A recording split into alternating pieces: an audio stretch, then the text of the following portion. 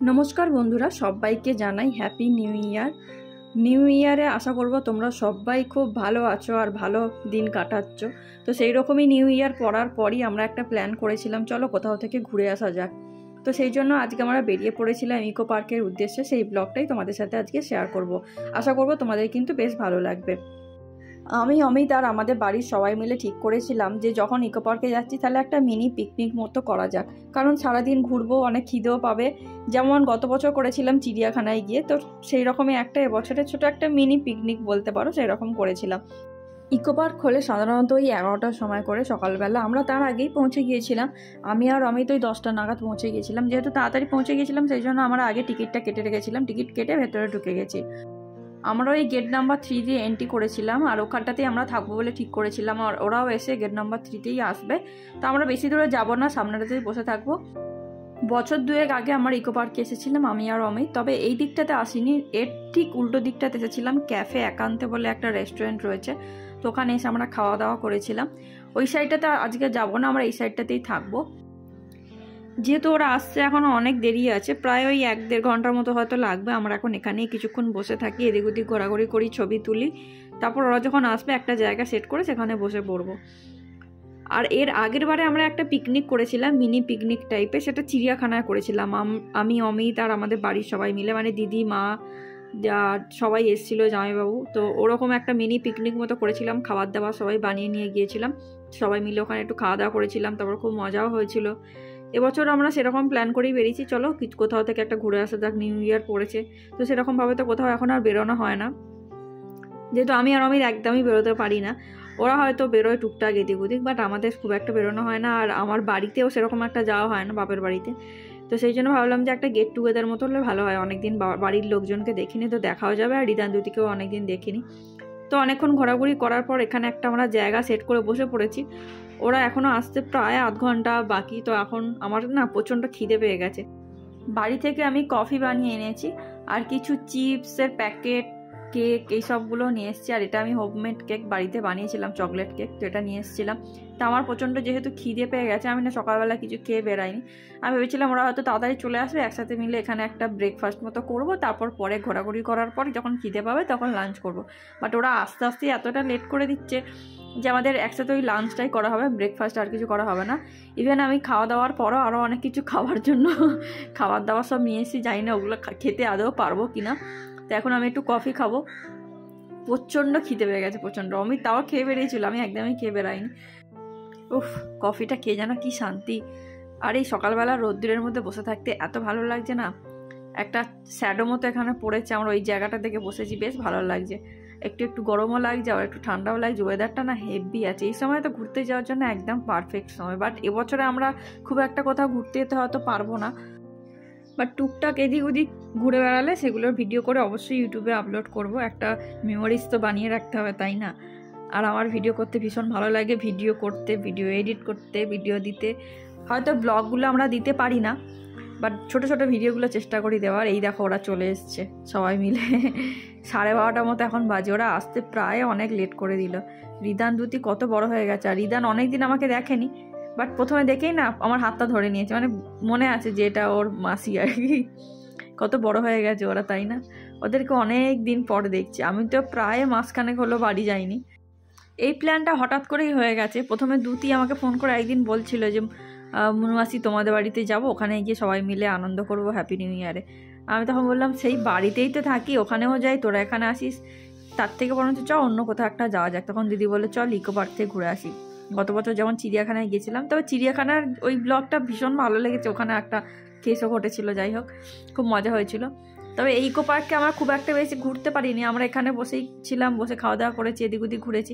But খুব যে অনেক ঘুরতে পেরেছি তা না, আমরাও খুব তাড়াতাড়ি ওখান থেকে বেরিয়ে গেছিলাম। আর যদিও ওরা বাচ্চা যেহেতু নিয়ে এসছে, সেই জন্য আমার মেসদি একদমই ওয়েট করতে চাইছিল না যে এখানে বেশিক্ষণ থাকা যাবে না, এখান থেকে তাড়াতাড়ি বেরিয়ে যাওয়াই ভালো। কারণ উবের পাওয়া যাবে না আর তারপর উবেরের রেন্টও অনেক দেখাবে। তো সেই জন্য বলছিল চল তাড়াতাড়ি এখান থেকে বেরিয়ে যাব। তো আমরা ওই তিনটে, সাড়ে তিনটে নাগাদ বেরিয়ে গেছিলাম। আর দেখো দুতির বোধহয় দাঁত ভেঙে গেছে, ওই জন্য দুতির দাঁতটা কীরকম একটা লাগছে। চলো আমরা আসল কাজে লেগে পড়ি মেন কাজে লেগে পড়েছি যথারীতি। খাওয়া দাওয়া শুরু করে দেব। দিদি বাড়ি থেকে বানিয়ে এনেছিল ফ্রাইড রাইস চিকেন কষা আরও কী এনেছিল? আর আমি অনেক কিছু নিয়ে গিয়েছিলাম পনির নিয়ে গিয়েছিলাম চিংড়ি মাছ নিয়ে গিয়েছিলাম বাট অনেক কিছু তো খাওয়াই হয়নি। যেমন কেক নিয়ে গেছিলাম, কেকটা খাওয়া হয়নি। আরও অনেক কিছু নিয়ে গেছিলাম। লাস্টে খাওয়ার পর একটা খাবার নিয়ে গিয়েছিলাম যে খেয়ে দিয়ে উঠে খাব বাট সেটাও আমাদের খাওয়া হয়নি। গাজরের হালুয়া। এত তাড়াতাড়ি, তাড়াহুড়ো করে আমরা ওখান থেকে বেরিয়ে পড়েছিলাম। আমাদের এবারের পিকনিকটা দেখে মনে হচ্ছে আমরা শুধু এখানে খাওয়ার জন্যই এসেছি। মানে সবাই খাবার নিয়ে এসেছিল। আমিও খাবার নিয়ে গেছিলাম, দিদিরাও খাবার নিয়ে এসেছিল সবাই মিলে একসঙ্গে খাওয়া দাওয়া করেছি, বাড়ি চলে গেছি। যেন মনে হচ্ছে আমরা এক জায়গায় গেট টুগেদার করলাম শুধু খাওয়া দাওয়ার জন্যই। মানে এবারে পিকনিকটা এরকমই মনে হলো। আগেবার যখন গেছিলাম চিড়িয়াখানা, তখন অনেক জায়গায় ঘুরেছিলাম। বাট এবারে অতটা ঘোরা হয়নি বাট সবাই মিলে বসে যে খাওয়া দাওয়া এটা বেশ বেশ মজা লাগছিল। আর অনেকদিন পর সবাইকে দেখলাম, দিদিদেরকে, মাকে, রিদানকে দুতিকে সবাইকে অনেকদিন পর দেখলাম। বাবাও আসবে বলছিল বাট বাবার শরীর ভালো থাকে না বলে কোথাও খুব একটা বেরোয় না। আর যেহেতু অনেকটা দূর রাস্তাটাও অনেকটা দূরে, সেই জন্য বাবা তো অতটা দূরে আসতে পারবে না। নাহলে বাবাও বলছিল, আমি যাব আমি যাব। এবারে একটা কোনো জায়গায় যদি পিকনিক করি, ধরো ছোটো মিনি পিকনিক থাকবে। তবে এইরকম পিকনিকটা আমার না ভীষণ ভালো লাগে। এই বাড়ি থেকে খাবার দাবার বানিয়ে নিয়ে যাব। ঠিক ছোটোবেলায় আমাদের এরকম হতো, জানো? তো আমরা সবাই মিলে এরকম যেতাম। চিড়িয়াখানা বা কোথাও খাজে, অনেকে মানে কেউ লুচি নিয়ে এলো, কেউ সিমের পায়েস নিয়ে এলো মানে এরকম টাইপের আর কি। কেউ ডিমের কারি নিয়ে এক একজন এক এক রকম খাবার দাবার নিয়ে এলো, কেউ চিকেন কষা নিয়ে এলো, সবাই মিলে এসে তারপর খাওয়া হতো। আর এই পিকনিকটা আমার ভীষণ ভালো লাগে। আমার পিকনিকটা খুব এনজয় করি, যেহেতু একদম সব ফুডগুলো হোমমেড আর আমি তো বাইরের খাবার খেতে একদমই পছন্দ করি না। বাইরের খাবার থেকে যতটা দূরে থাকা যায়, ততটাই চেষ্টা করি। দু হাজার তেইশে তোমরা হয়তো আমার ইনস্টাগ্রাম চ্যানেলে দেখলে, দেখতে পাবে যে আমি যতগুলো খাবারের ছবি আপলোড করেছি, বেশিরভাগটাই তার মধ্যে হোমমেড ফুড বাইরের খাবার খুবই কম। মানে নেই বললেই চলে। হয়তো তিন চার, তিন চারবার হয়তো বেড়াতে গেছিলাম, দু তিনবার, তো সেখানে যেরকম খাবার দাবার দিয়েছিলো, তো সেগুলোই বাকি আছে সেরকম বাইরের খাবার দাবার আমাদের খাওয়া হয় না। আমি তো সেই জন্য খুব নিজেকে খুব ভালো লাগছে যে আমি দু হাজার তেইশে বাইরের কোনো খাবার দাবার সেরকমভাবে খাইনি। যা খেয়েছি সব হোমমেড তো এখন আমাদের খাওয়া দাওয়া হয়ে গেছে, তো কিছু একটা অ্যাক্টিভিটি করতে হবে। তো সামনে এই সাইকেলগুলো ছিল, সবাই দেখছিলাম যে নিয়ে চালাচ্ছিল। আমরা প্রথমেই এসে দেখেছিলাম, তখন অমিতকে বলেছিলাম যে আমাদের খাওয়া দাওয়া হয়ে গেলে আমরা খুব একটা বেশি দূর যাব না, যেহেতু বাচ্চা কাচ্চা আছে। আমরা সামনেই থাকব আর সাইকেলটা নিয়ে সাইকেল চড়বো। তো ওদের দুজনকে তো কিছুতে একটা চড়াতে হবে। তো ওরা বলল, সাইকেল চড়বি? বলছে হ্যাঁ হ্যাঁ ওরা খুব মানে মজা পেয়েছে সাইকেলটা চালি মানে চড়ে আর কি। আর দেখো দুতি কেরম পেছনে, এরা দুজনেই তো ছুটছে। বাবা, এদেরকে ধরে রাখা যাবে, অসম্ভব ব্যাপার। এরা যা ডেঞ্জার জিনিস, দুজনেই ডেঞ্জার একেবারে। আর ওরা সাইকেলটা চড়ে না হেভি মজা পেয়েছে হেভি মজা পেয়েছে। ওরা খালি বলছে, বারবার বলছে, আমি চড়বো আমি চড়বো। আর রিদানকে দেখো না কেমন করছে, খুব মজা পেয়েছে। আবার রিদান বলছে, আমি ইকো পার্কে এসেছি, আমি ইকো পার্ক এখন অনেক কথা বলতে শিখে গেছে। আবার মার্চ না, এপ্রিল মাস থেকে স্কুলে যাবে। বাপরে বাপ, সেই ছোট্ট রিদান কত বড় হয়ে গেল। আর দ্বিতীয় কত বড় হয়ে গেল। দুজনে মানে ভাবাই যায় না, কত ছোট ছোট ছিল ওরা, কি তাড়াতাড়ি সব বেড়ে গেল। আর আমি আর আমি দুজনে মিলে এখন বসেছি সাইকেল চালাবো। আর এখানে না প্রচুর ভিড় হয়েছে, দেখছি প্রচুর লোকজন এসছে ভেতরটাতে। বাট এই ভিড়ের মধ্যে সাইকেলটা চালাতে খুব একটা ভালো লাগে না। ভিড় না থাকলে বেশ ভালো লাগে। এই সাইকেলটা নিয়ে এদিক ওদিক করতে করতে চালাতে চালাতেই তিনটে প্রায় বেজেই গেল, তিনটে সাড়ে তিনটে বেজেই গেল।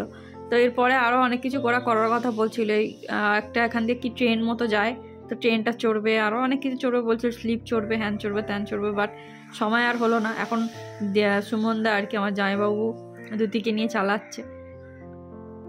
যাই হোক, আমাদের আর অন্য কোনো অ্যাক্টিভিটি করা যাবে না। অলমোস্ট সাড়ে তিনটের মতো বেজে গেছে। আর রিদানকে দেখো না, কত এক্সাইটেড এখানে এসে। দিদি, জামাইবাবু দুজনে সাইকেল চালানো হয়ে গেলে ওদের অলমোস্ট উবের বুক করা হয়ে গেছে। ওরা উবেরও করে বাড়ি চলে যাবে। তারপর আমরা যাব, আমরা শাটেলে করে যাব, তারপরেই বেরোবো। আর যেহেতু অনেকটা লেট হয়ে গেছে, সাড়ে তিনটের মতো বেজে গেছে, ওদের যেতে যেতেও অনেকটা সময় লাগবে। সেই জন্য ওরা আগে আগে ভাগেই বেরিয়ে পড়ছে আর কি। আমরা তারপরে বেরোবো।